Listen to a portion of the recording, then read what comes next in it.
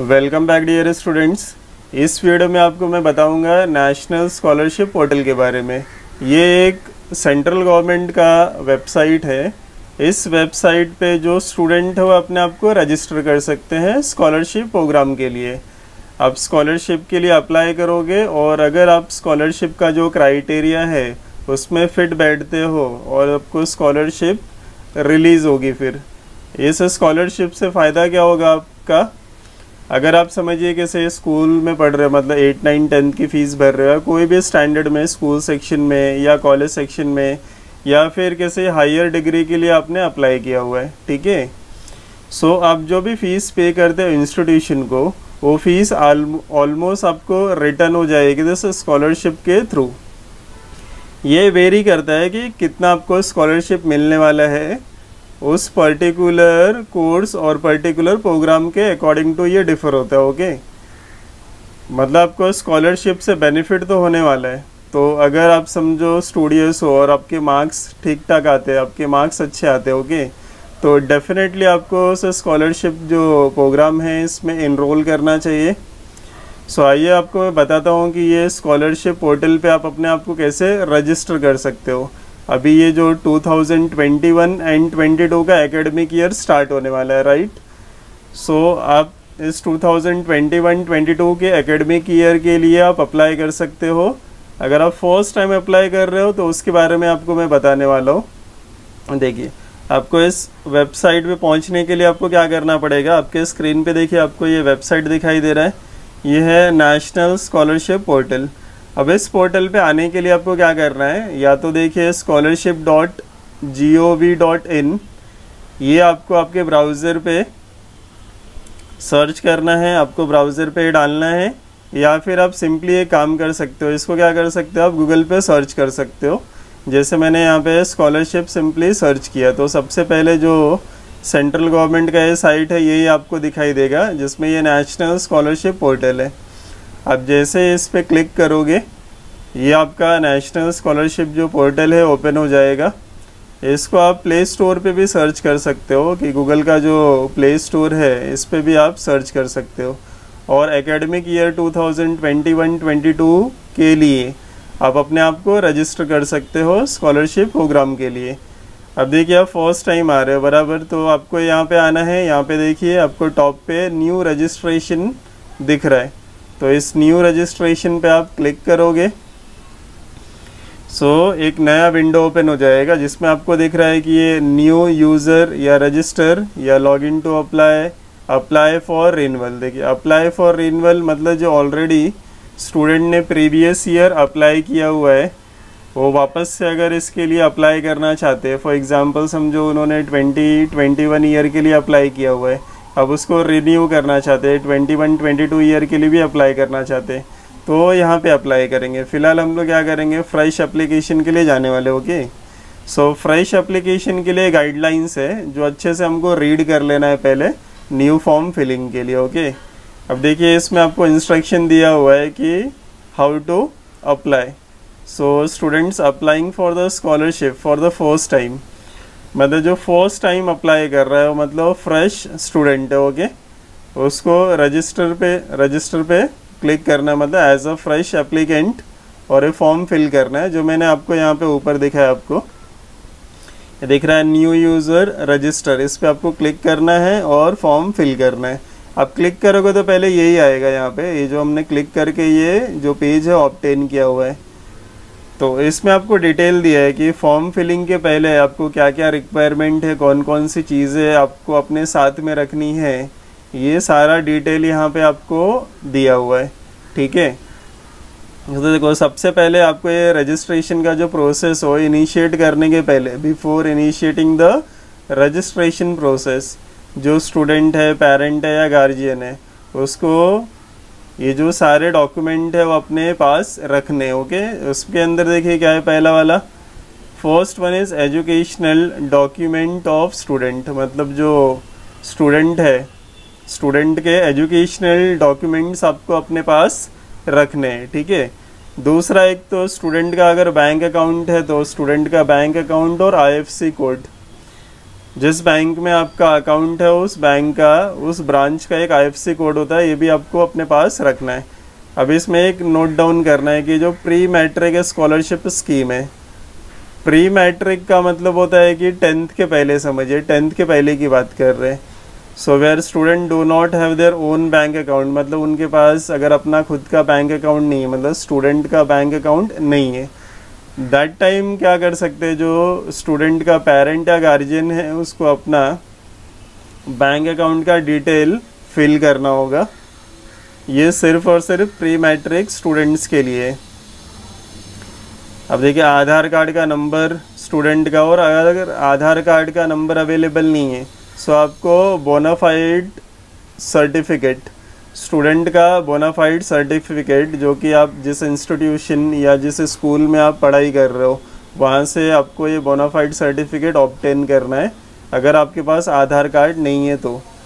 आधार enrolment ID और scanned copy of bank passbook देखो, Aadhaar enrolment ID आपके पास हो या फिर जो बैंक का पासबुक है, उसका एक स्कैन करके आपको कॉपी यहाँ पे सबमिट करना होगा। If institute or school is different from the domicile state of the applicant then bona fide student certificate from the institute or school एक और चीज़ की आपका अगर डोमिसाइल सर्टिफिकेट देखिए, जिस स्टेट में आप रहते हो मतलब उस स्टेट के आप सिटीज़न हो तो वो जिस स्टेट में आप स्टडी कर रहे हो, जिस स्टेट के आप सिटीजन हो, वहाँ से आपको डोमिसाइल सर्टिफिकेट मिलता है। ये हर स्टेट का अलग अलग होता है। महाराष्ट्र का अलग होगा, यूपी का अलग होगा, राजस्थान का अलग होगा, हर एक जो स्टेट है, हर एक स्टेट का ये अलग अलग डोमिसाइल सर्टिफिकेट होता है। अगर आप किसी और समझिए स्टेट के डोमिसाइल होल्डर है मतलब अगर आप समझिए कि है राजस्थान से और न्यूली आपने महाराष्ट्र के अंदर, किसी इंस्टीट्यूशन के अंदर स्टडी करने के लिए आपने एडमिशन लिया हुआ है तो दैट टाइम आपको बोनाफाइड जो इंस्टीट्यूशन है, जिसमें आपने एडमिशन लिया हुआ है, वहाँ से आपको बोनाफाइड सर्टिफिकेट ऑप्टेन करना होगा ओके अब देखिए, ये सारी चीज़ें तो आपको अपने पास रखनी है। उसके बाद फिर देखिए, हम लोग जाते हैं कि इसमें ये जो कंपलसरी चीज़ें जो आपके पास होनी चाहिए। एक तो D O B that is date of birth printed in the educational certificate ये होना चाहिए कि डेट ऑफ़ बर्थ आपके एजुकेशनल सर्टिफिकेट पे प्रिंट होना चाहिए। आपके पास डोमिसाइल होना चाहिए और डोमिसाइल सर्टिफिकेट हमने अभी डिस्कस किया कि डोमिसाइल सर्टिफिकेट क्या होता है। परमानेंट एड्रेस का एक सर्टिफिकेट होता है। मतलब आप किस स्टेट के सिटीज़न हो ऐसा हम लोग बोल सकते हैं इसको ओके और अगर आपके पास डोमिसाइल सर्टिफिकेट नहीं है तो फिर बोनाफाइड सर्टिफिकेट आपको उस स्कूल से ऑप्टेन करना होगा। देखो student needs to provide a bona fide certificate in the prescribed perform if the student domicile certificate is different from the state of institute or school where he or she is studying so so, scholarship की जो category है देखिए इसमें तो एक है matric ये जो पहला देखिए 2.1 it is pre matric scholarship scheme for student studying from class one to ten ये जो स्टूडेंट है जो कि वन से लेके टेन के क्लास में स्टडी कर रहे हैं, उनको कौन से स्कीम के लिए लॉगिन करना है? प्री मैट्रिक स्कॉलरशिप स्कीम इसमें आपको इनरोल करना है अगर आप स्टूडेंट हैं क्लास वन से लेके क्लास टेंथ के ओके और उसके आगे देखिए दूसरी स्कीम है for post matric scholarship scheme या फिर टॉप क्लास स्कॉलरशिप स्कीम या फिर matric cum means scholarship scheme ये टेंथ के बाद की है। अगर आप समझे वन से टेंथ इसमें नहीं है आप। अगर आप इलेवन ट्वेल्थ या फिर किसी अदर कोर्सेज जो कि आफ्टर टेंथ होते हैं, जैसे पॉलिटेक्निकल है आईटीआई है, और भी कोर्सेज होते हैं, जो कि आफ्टर टेंथ होते हैं apart from eleventh and twelfth so अगर आप इन किसी कोर्सेज में हो जो कि इलेवन, ट्वेल्थ या फिर अदर कोर्सेज जो कि टेंथ के बाद किए जाते हैं, जैसे I T I B S C B com B tech medical या फिर इंजीनियरिंग ऐसे कुछ स्टूडेंट है, जैसे I T I I T I I M S ऐसे कोई भी कोर्सेज में अगर आपने इनरोल किया है तो आपको क्या करना है? ये सिलेक्ट करना है पोस्ट मैट्रिक स्कॉलरशिप या फिर top class that means simple सा आपको याद रखना है कि ये जो प्री मैट्रिक स्कॉलरशिप स्कीम है उन स्टूडेंट के लिए है जो कि क्लास वन से लेके टेंथ में स्टडी कर रहे हैं। अगर आप वन से लेके क्लास टेंथ में स्टडी नहीं कर रहे तो आपको सिंपली दूसरा जो ऑप्शन है, ये आपको सिलेक्ट करना है, ओके? पोस्ट मैट्रिक या फिर टॉप क्लास या फिर matric cum means scholarship scheme. इसके बाद नेम ऑफ़ द स्टूडेंट और फिर ये जो मोबाइल नंबर है, बेसिक चीज़ है, ईमेल आईडी, फिर बैंक का डिटेल, आइडेंटिफिकेशन नंबर ये जो आइडेंटिफिकेशन डिटेल है, इसमें आधार कार्ड आपको सबमिट करना होगा। देखिए, ये सारी चीज़ें हमने क्या की? प्रॉपरली रीड कर ली, समझ ली। उसके बाद हमको ये अंडरटेकिंग देना है कि I agree to the following मतलब ये जो भी ऊपर जो डिटेल दी गई है, इससे मैं क्या हूँ? सहमत हूँ। ठीक है? सो मुझे क्या करना है? हमें क्या करना होगा? ये जो तीन चीज़ें हैं, इसको हम लोग क्लिक कर लेंगे। मतलब इसका मीनिंग है कि जो ऊपर चीज़ें जो दी हुई थी जो डिटेल थी हमने प्रॉपरली रीड की अंडरस्टैंड की ये हमको सारी चीज़ें समझ में आ गई है। सो so, ये हमने तीनों चीज़ों को टिक कर दिया ठीक है? इसके बाद हम लोग कंटिन्यू पे क्लिक करेंगे। इसके बाद हमको क्या करना है? इसको कंटिन्यू पे क्लिक करना है।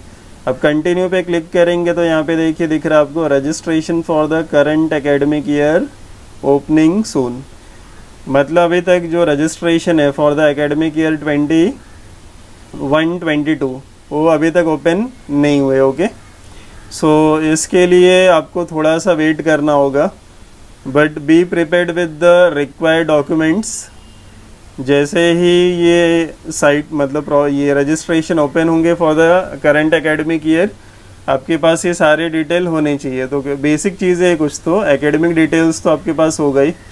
बोनाफाइड सर्टिफिकेट अगर आपके पास नहीं है तो स्कूल या इंस्टीट्यूशन जहाँ पे आप एडमिशन लेंगे, वहाँ से आप ऑप्टेन कर लेंगे। और एक जो मोस्ट इंपॉर्टेंट चीज़ है, वो डोमिसाइल सर्टिफिकेट अगर आपके पास डोमिसाइल सर्टिफिकेट नहीं है तो आप डोमिसाइल सर्टिफिकेट बना लीजिए।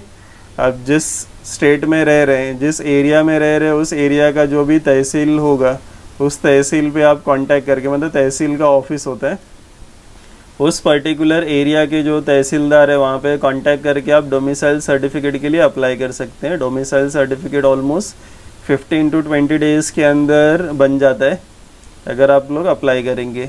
उसके बाद देखिए ये ओपन होने वाला है। इट इज़ ओपनिंग सून फिर ये जो डॉक्यूमेंट्स आपके पास सारी चीज़ें हो जाएँगी तो आप यहाँ पे अपने आप को रजिस्टर कर सकते हो फॉर द स्कॉलरशिप स्कीम के लिए। ओके okay, जैसे ये जो वेबसाइट है मतलब ये जो रजिस्ट्रेशन ओपन हो जाएगा तो मैं आपको अपडेट कर दूँगा। Till then thanks for watching और अगर आपको ये पोर्टल नहीं मिल रहा है गूगल पे तो मैं इसका लिंक आपको डिस्क्रिप्शन में दे रहा हूँ। वहाँ पे क्लिक करके आप इस पोर्टल पे जा सकते हो और अपने आप को रजिस्टर कर सकते हो। Okay take care bye bye thanks for watching